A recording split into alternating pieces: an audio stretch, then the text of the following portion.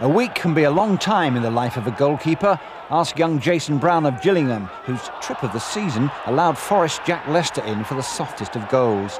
Only last week, Brown had taken over from Vince Bartram as the Gills number one and played a blinder against Sheffield Wednesday. Now all he wanted was that proverbial hole to swallow him up.